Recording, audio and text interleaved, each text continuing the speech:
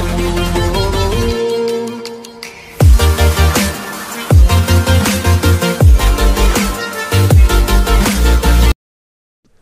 friends welcome back to my YouTube channel friends LG के inverter model refrigerator में जो single door refrigerator होता है, वहाँ पे क्या है, एक पीसीबी लगी होती है जो इन्वर्टर मॉडल टेक्नोलॉजी के जितने भी रेफ्रिजरेटर हैं, उनमें लगी होती है। बट वहाँ पे क्या है LG का जो inverter model double door refrigerator वहाँ पे क्या है डबल पीसीबी लगी होती है, ठीक है? दो पीसीबी होती है, एक बड़ी पीसीबी होती है, एक छोटी पीसीबी होती है।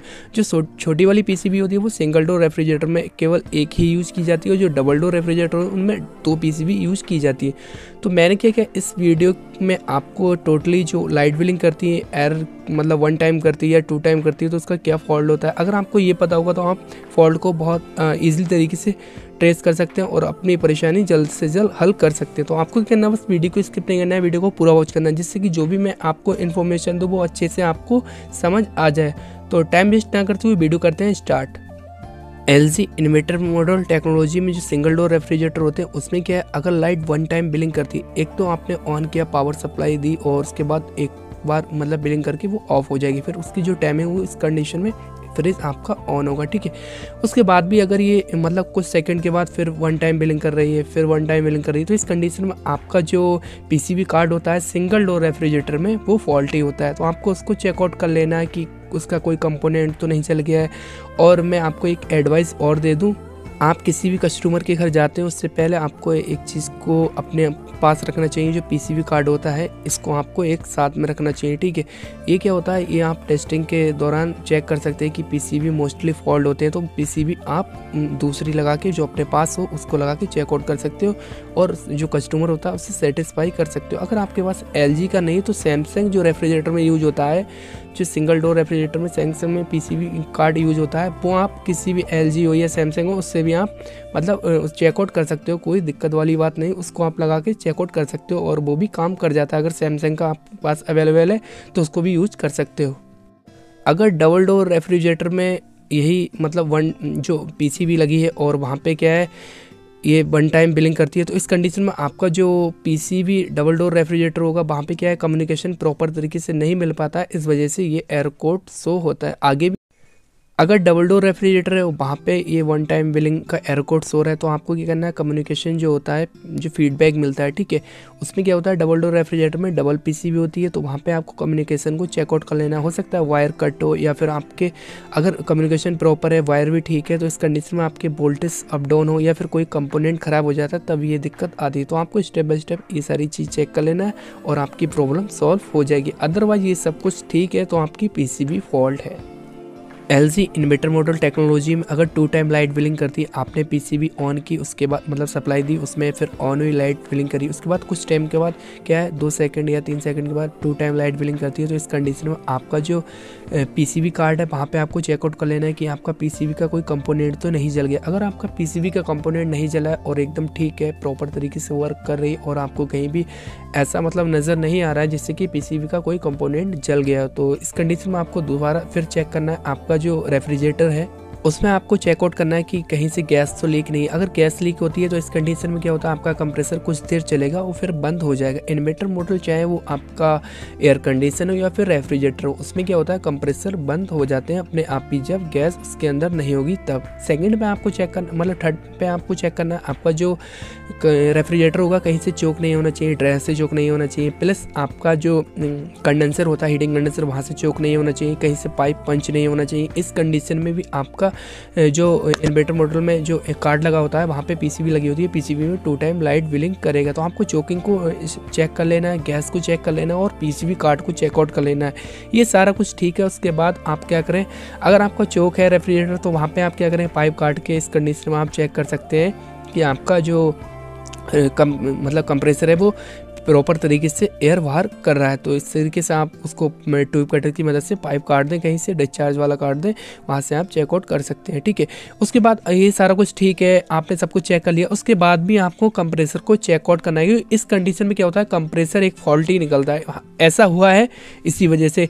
तो आपका जो कंप्रेसर हुआ कंप्रेसर का जो पिस्टन होता है, ठीक है, वो जाम हो जाता है या फिर कंप्रेसर का जो रूटर होता है, वो नहीं चल पाता है। तो आपको क्या करना है उस कंप्रेसर को भी डायरेक्ट चेकआउट करना है। पीसीबी की मदद से, ठीक है? न्यू एक पीसीबी हमेशा रखें आप साथ में। और एक चीज़ का आप ध्यान रखें कि कंप्रेसर भी आप इन्वर्टर मॉडल का एक साथ में रखें, ठीक है? इससे क्या है? प्रॉपर तरीके से टेस्टिंग हो जाएगी। फ़िलहाल वैसे तो हम कर ही लेते हैं टेस्टिंग, मगर ये दोनों चीज़ें होती है, पीसीबी और कंप्रेसर तो बहुत आसानी हो जाती है टेस्टिंग करने में। तो आप इस तरीके से चेकआउट कर सकते हैं। एल जी इन्वेटर मॉडल में अगर थ्री टाइम लाइट बिलिंग करती है तो इस कंडीशन में आपको सबसे पहले चेकआउट करना है, आपका जो कंप्रेसर है वो कंप्रेसर स्टार्ट हो रहा है या फिर नहीं हो रहा है। कंप्रेसर तक नीचे जो सप्लाई पहुँचती है यूवीडब्ल्यू आपको वहाँ पे सप्लाई चेकआउट कर लेना है। प्लस आपको जो ओ होता है, ठीक है, जहाँ पे जो जितने भी आपके जो कंप्रेसर होते हैं इन्वेटर मॉडल टेक्नोलॉजी के, वहाँ पर क्या है ओवरलोड दिया होता है। सैमसंग कंपनी क्या करती है कि ओवरलोड उसमें मतलब ऊपरी लगा के दे देती है, ठीक है, और बाकी एल कंपनी कंपनी क्या होती है, इसमें ओवरलोड गोल वाला लगा होता है तो गोल ओवरलोड होता है, जो ओ एल पी हम जिसे बोलते हैं, ठीक है? तो वहाँ पे आप देख लें कि ओ एल पी तो आपका मतलब ख़राब नहीं है। अगर ओ एल पी जैसे कि वोल्टेज अप डाउन बहुत ज़्यादा होते हैं, इस कंडीशन में क्या होता है ओ एल पी वहाँ पर हीटअप होता है और फिर बहुत जल्दी हीट हीट हो जाता है, क्योंकि उसके अंदर एक स्प्रिंग होता है। स्प्रिंग क्या होता है हीट होता है, फिर वो कमांड देता है पीसीबी को। पीसीबी कमांड देता है, फिर वो जो कंप्रेसर होता है वो आपका कट ऑफ़ हो जाता है। तो आपको क्या ना ओ एल पी चेकआउट कर लेना है क्वान्टिटी की रेंज पे मीटर को सेट करें, उसके बाद आप चेकआउट कर सकते हैं कि वहाँ पे क्वांटिटी की अलार्म मतलब बज रहा है या नहीं बज रहा है। अगर अलार्म का साउंड नहीं आ रहा है, इस कंडीशन में आपका ओ एल पी ख़राब है। कंप्रेसर ऑन करके मतलब आप जब रेफ्रिजरेटर को ऑन करेंगे, उस कंडीशन में आप ये भी चेकआउट कर सकते हैं ओ एल पी पे हाथ रख के देख सकते हैं कि ओ एल पी बहुत जल्दी अगर हीट हो रहा है तो इस कंडीशन में भी आपको ओ एल पी रिप्लेस करना पड़ेगा, ठीक है? तो आपका अगर वहाँ तक सप्लाई पहुँच रही है तो ठीक है, अगर नहीं पहुँच रही तो आपको एल की चेकआउट कर लेना। आपको कंप्रेसर को चेकआउट कर लेना कि कंप्रेसर की वेंडिंग तो शॉर्ट नहीं है, फिर कंप्रेसर का रूटर तो जाम नहीं ये सारी चीज़ step by step check out कर लेना। अगर इस कंडीशन में आपका कंप्रेसर ओके है, वो एल ओके है तो आपको पी कार्ड को चेकआउट कर लेना। अगर आपका पी सी फॉल्ट होगा तो इस कंडीशन में भी ये एयरकोड शो होगा कि थ्री टाइम लाइट बिलिंग करेगी और आप इस तरीके से चेकआउट कर सकते हैं, आपकी प्रॉब्लम सॉल्व हो सकती है। फ्रेंड्स एक मैंने सैमसंग डबल डोर रेफ्रिजरेटर की एक वीडियो अपलोड करी है, जिसका मैं डिस्क्रिप्शन में लिंक दे दूँगा। वहाँ पे क्या है? वन से थर्टीन टाइम तक लाइट बिलिंग करती उन सारे ही एरो कोड के बहुत अच्छे से मैंने डिटेल से सॉल्यूशन बताया। तो आप उसको मतलब डिस्क्रिप्शन में जाके उस लिंक को ओपन करके और वीडियो देख सकते हैं। आपके लिए बहुत ज़्यादा हेल्पफुल रहेगी। तो आपको उस वीडियो को ज़रूर देख लेना है। L G inverter model technology के रेफ्रिजरेटर और उसमें फोर टाइम लाइट बिलिंग करती है और कुछ सेकंड के बाद फिर फोर टाइम लाइट बिलिंग करती है तो इस कंडीशन में आपका जो कंप्रेसर होगा, वो आपकी कंप्रेसर को चेकआउट करना है कि वहाँ तक सप्लाई प्रॉपर तरीके से पहुँच रही है फिर ओएलपी तो नहीं ख़राब है या फिर वहाँ पर वायर तो ओ का कट नहीं है फिर यू जो है वहाँ पर वायर तो कट नहीं है, ठीक है? ये चीज़ आपको स्टेप बाय स्टेप चेकआउट कर लेना। फिर आपको देखना है कि कंप्रेसर की वाइंडिंग तो ख़राब नहीं कंप्रेसर जो है शॉर्ट तो नहीं है, ये सारी चीज़ आपको टेस्टिंग कर लेना है प्रॉपर तरीके से। ये सब कुछ ठीक है, उसके बाद आपको पीसीबी को चेकआउट कर लेना है कि पीसीबी वहाँ तक सप्लाई आउट कर रही है या फिर नहीं कर रही है। इस कंडीशन में आपको स्टेप बाय स्टेप ऐसी सारा कुछ चेक कर लेना है, जैसे कि मैंने आपको डिटेल से बताया। अगर आपको इन्वेटर मोटर रेफ्रिजरेटर के जो कंप्रेसर है, वो टेस्टिंग नहीं कर सकते तो आप वीडियो लिस्ट में जाके उसको देख सकते हैं, वरना मैं आपको डिस्क्रिप्शन में भी लिंक दूँगा और वहाँ पे आई बटन में मैं उसको लिंक दे दूँगा कि आप उसको कैसे टेस्टिंग कर सकते हैं इन्वर्टर मोटर के जो कंप्रेसर होते हैं, वो प्रैक्टिकली आप जाके वहाँ से विज़िट करें और देख लें और आपके लिए बहुत ज़्यादा हेल्पफुल रहेगा video L G inverter motor technology में अगर फाइव टाइम लाइट बिलिंग करती है तो इस कंडीशन में क्या होगा? इस कंडीशन में ये होता है कि पीसीबी फॉल्ट नहीं होती है आपकी। ये तो मतलब क्लियर है कि पीसीबी फॉल्ट नहीं होगा। तो सबसे पहले आपको चेकआउट करना है। आपका जो कंप्रेसर है कंप्रेसर क्या होता है? ये फॉल्टी होता है, तभी ये दिक्कत आती है। या फिर कंप्रेस आपका जो रेफ्रिजरेटर वो कहीं से चौक है, तब ये दिक्कत आएगी। प्लस आपका कहीं से पाइप पंच है, तब ये दिक्कत आएगी। प्लस आपका कंप्रेसर जो है, वो मतलब हैंग हो रहा है। मतलब स्टार्ट हुआ, फिर रुक गया। तो इस कंडीशन में आपका जो पिस्टन होगा, वो जाम हो जाता है। या फिर आपका जो रूटर होता है, वो प्रॉपर तरीके से नहीं घूम पाता है, तब ये दिक्कत आती है। तो आपको क्या कहना स्टेप बाय स्टेप ये सारी चीज़ चेकआउट कर लेना। आपकी जो प्रॉब्लम है, वो सॉल्व हो जाएगी। जो लाइट बिलिंग फाइव टाइम करती है, वो आपकी प्रॉब्लम सॉल्व हो जाएगी आप इस तरीके से चेकआउट कर सकते हैं।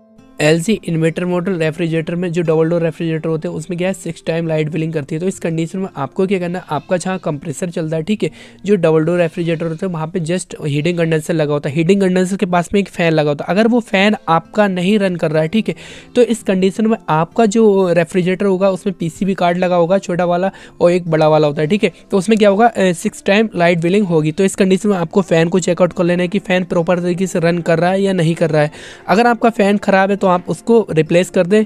आपकी प्रॉब्लम सॉल्व हो जाएगी। अगर आपका जो हीटिंग कंडेंसर है और वहाँ पे फ़ैन लगा है फ़ैन भी चल है तो आपका हीटिंग कंडेंसर हीटिंग कंडेंसर जो होता है, वो बहुत ज़्यादा मतलब डस्टी है, इस वजह से भी ये दिक्कत आई तो आप उसको भी चेकआउट कर लें। प्लस आपका जो रेफ्रिजरेटर है, उसमें से गैस लीक नहीं होना चाहिए। इस कंडीशन में क्या होगा, अगर गैस लीक होगी तो जो कंप्रेसर होगा, वो कुछ देर चलेगा और कुछ देर नहीं चलेगा। तो आपको गैस को भी चेकआउट कर लेना कि आपकी गैस जो रेफ्रिजरेटर है, उसमें कहीं लीक तो नहीं है, या फिर गैस कहीं से चोक तो नहीं है, या फिर गैस कहीं से मतलब चोक होगी, तब भी ये दिक्कत आएगी प्लस आपका अगर पाइप कहीं से पंच होगा, तब भी ये दिक्कत आएगी। अदरवाइज़ ये सब कुछ ठीक है, उसके बाद भी आपको जो पीसीबी है पीसीबी को चेकआउट कर लेना चाहिए कि पीसीबी आपकी प्रॉपर तरीके से वर्क कर रही है या नहीं कर रही है तक सप्लाई ऑड कर रही है या फिर नहीं कर रही है। तो आपको स्टेप बाय स्टेप ये सारी चीज़ चेकआउट कर लेना है। बाकी कंपनी जो दावा करती है वो ये करती है अगर सिस्टम लाइट बिलिंग करता है तो आपका जो वोल्टेज है अप डाउन मतलब कर, जो वोल्टेज है बहुत ज़्यादा ज़्यादा आ रही है सप्लाई या फिर वोल्टेज बहुत ज़्यादा ओवर हो रहे हैं तब ये दिक्कत आती है। वैसे मतलब मोस्टली ये फॉल्ट जो मैंने बताया था ये आते हैं वरना एक इसमें माइक्रो कंट्रोलर चिप लगी होती है ठीक है ये फॉल्टी हो जाती है तब ये फॉल्ट आता है। तो आपको ये सारी चीज़ चेकआउट कर लेना आपकी प्रॉब्लम सॉल्व हो जाएगी। और आपको एक चीज़ का और ध्यान रखना है कि आप जब चेक करेंगे तो इसमें क्या हुआ, दो पीसीबी लगी होती है। एक पीसीबी जो होती है, जो फीडबैक देती है बड़ी वाली पीसीबी जो पावर पीसीबी होती है और आपको क्या करना है, उसमें क्या है कम्युनिकेशन प्रॉपर तरीके से मिलना चाहिए। अगर कम्युनिकेशन प्रॉपर तरीके से नहीं मिलेगा तो इस कंडीशन में आपका जो फीडबैक होगा, वो नहीं मिल पाएगा। एक एक से पीस जो एक बड़ी वाली पी और छोटी वाली पी इन दोनों में आपस में कम्युनिकेशन नहीं मिलेगा। इस वजह से भी ये दिक्कत आती है। तो आपको ये भी चेकआउट कर लेना चाहिए कि वहाँ पर कम्युनिकेशन जो है, वहाँ पर वायर कहीं से कट तो नहीं गया है या फिर आपका जो कंपोनेंट है कहीं से वो ख़राब तो नहीं हुआ है तो ये सारी चीज़ step by step check out कर लेना चाहिए आपको। L G inverter motor refrigerator में अगर सेवन टाइम लाइट बिलिंग करती है, कुछ सेकंड के बाद सेवन टाइम लाइट बिलिंग करती है तो इस कंडीशन में आपका जो पीसीबी है पीसीबी का आईपीएम होता है, वो फॉल्टी है। इस वजह से आपकी पीसीबी रिपेयरेबल नहीं होगी, आपको सीधा रिप्लेस करना पड़ेगी, ठीक है? तो आपको ये चीज़ जो है I P M I P M voltage की वजह से ये दिक्कत आती है कि वोल्टेज बहुत ज़्यादा अप डाउन होते हैं या फ्लक्चुएशन होती है कहीं ना कहीं। तो इस वजह से ये मतलब फॉल्टी बहुत जल्दी हो जाता है। तो आपको ये चीज़ चेकआउट कर लेना चाहिए और अगर ये ख़राब है तो आपकी जो पीसीबी है वो सीधा रिप्लेस होगी क्योंकि ये रिपेयरेबल है नहीं, बहुत ज़्यादा महँगा पड़ता है। इस वजह से इससे तो ज़्यादा अच्छा है कि आप पीसीबी को ही चेंज कर दें। L G inverter model refrigerator में अगर एट टाइम बिलिंग करती है, कुछ सेकंड के बाद एट टाइम बिलिंग करती है तो आपका जो इसमें भी क्या है पीसीबी ही फॉल्ट होती है। पीसीबी का आईपीएम होता है, वो फॉल्टी होता है तो इस कंडीशन में भी आपको पीसीबी रिप्लेस करना पड़ेगी। तो फ्रेंड्स वीडियो कैसी लगी? अगर वीडियो अच्छी लगी वीडियो को लाइक कर दो चैनल पर न्यू विज़िट किया चैनल को सब्सक्राइब कर दो। Thank you for watching